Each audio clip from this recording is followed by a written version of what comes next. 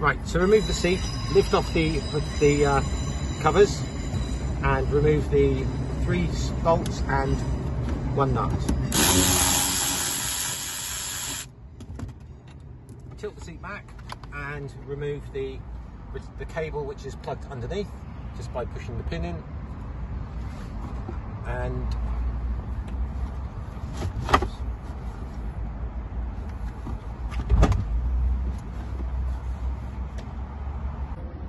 once we've moved the seat you need to grind off the four rivets which will allow you to remove these these these feet.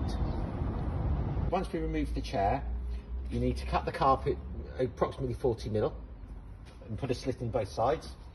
And then lift the plate up back in uh, back in first forward down and then slide it back. Lift the underlay put the feet down on either either corner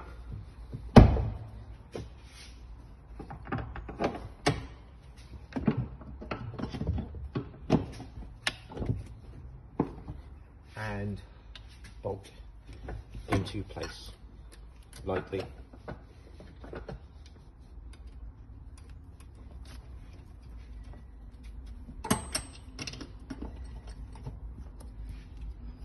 You've done that, then you can put the bolts and the screw, the nut back in place and tighten up.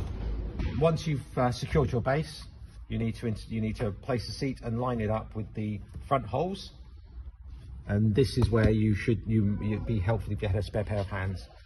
Once you've lined the holes up twist the seat and it'll allow you to put your plate and your bolts through and secure once secure spin the seat to its location front and forward location slide and then tilt, tilt the back and then it'll allow you to rotate the seat so you can get to the back, back bolts, locate holes and you will then forward, fold it round to,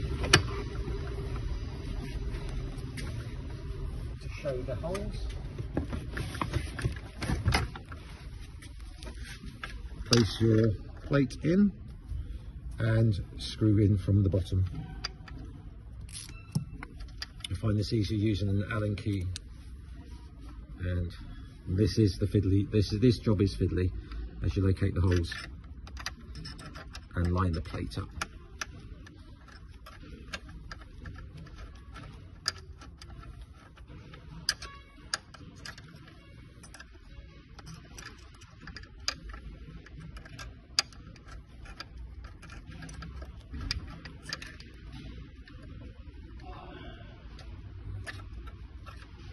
And do the same the other side. And once in place, secure.